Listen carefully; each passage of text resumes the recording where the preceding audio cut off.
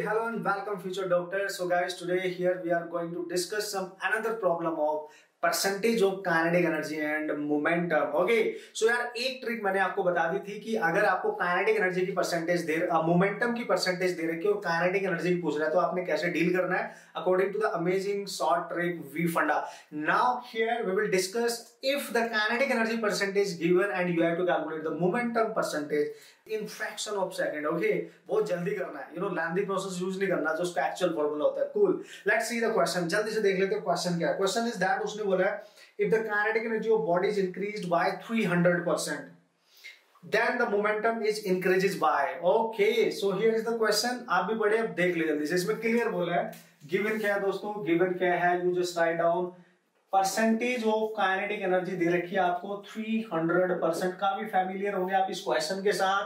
अब कैसे करना है? इसी को सेम क्वेश्चन को अब जब चेक करो ओके उसने बोला परसेंटेज ऑफ़ मोमेंटम बताओ तो भाई क्या करना है? देख फॉलो करते हैं। पहले इसको एज इट इज़ लिख लो, लिख लिया परसेंटेज को ओपन करो बाई हंड्रेड आ गया। दैट इज़ थ्री फिर मैंने आपको क्या बोला था? जो भी आएगा उसमें वन ऐड करना है। मैंने बोला था वन ऐड करना है, ठीक है? ऐड करने के बाद जो भी आएगा उसको लिखेंगे फोर ओके चूँकि यहाँ पे काइनेटिक एनर्जी गिवन है और मोमेंटम हम कैलकुलेट कर रहे हैं तो वहाँ पे हम स्क्वायर करते थे यहाँ रूट लेना है। फिर से सुनो, यहाँ पे क्या लेना है? अंडर रूट लेना है उसका। अंडर रूट लेना है, जो भी वन ऐड करने के बाद आएगा मतलब अंडर रूट लेना है। ठीक है? स्क्वायर रूट जिसको आप बोलोगे that is square okay root यहाँ पे आपने लेना है। That is square root okay फिर जो भी आएगा, इसकी सॉल्व करने के बाद दैट इज़ टू आ रहा है, उसमें से वन सब्ट्रैक्ट करना है। तो दिस इज़ वन सब्ट्रैक्ट करना है। डेफिनेटली वन और उसके बाद जो बचेगा, आप देखो that is two minus one that is one hundred से मल्टीप्लाई करना है। So this is your answer hundred percent means you can say momentum की जो परसेंटेज है, वो हंड्रेड परसेंट बढ़ जाएगी।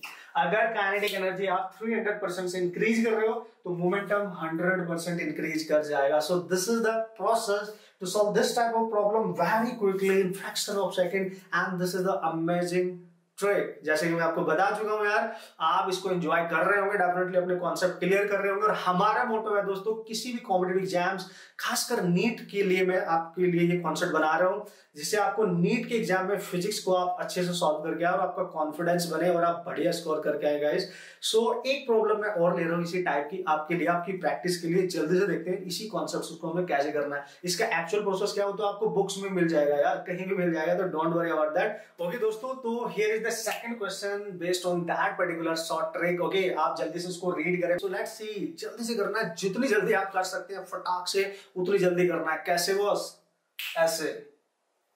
कैसे उसने उसको पटका? यार, मैं आपको बार बार सिखा रहा हूँ, आपने भी कैसे पटकना है? किस तरीके से? बढ़िया से कॉन्सेप्ट बिल्ड करने हैं ना यार। कौन कहता कि हमसे नहीं हो सकता?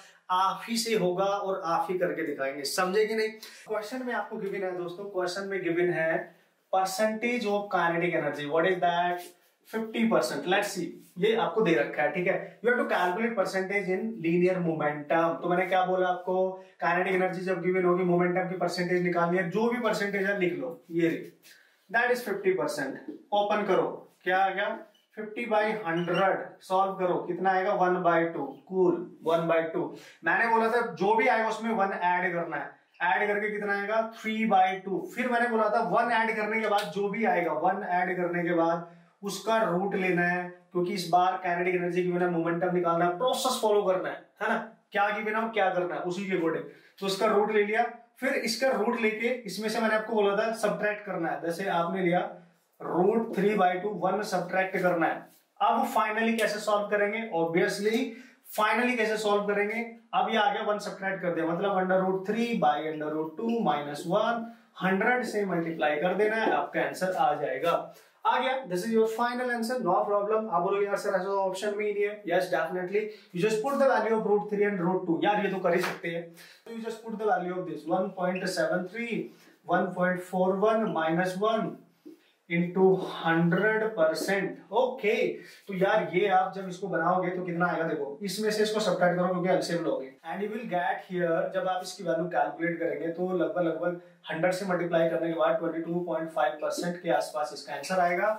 मतलब आपकी जो percentage increase in the momentum आएगी दैट इज़ आप चेक कर सकते हैं इसका सोल्यूशन आप चेक कर सकते हैं। मेन थिंग ये नहीं है मेन ये है वॉच ठीक है? कि आपने इसको कर। ये तो लास्ट में आएगा ना तो जस्ट कैलकुलेशन का एक पार्ट है। बट हमने फॉर्मूला ही यूज़ नहीं किया। Momentum kinetic energy and all है ना?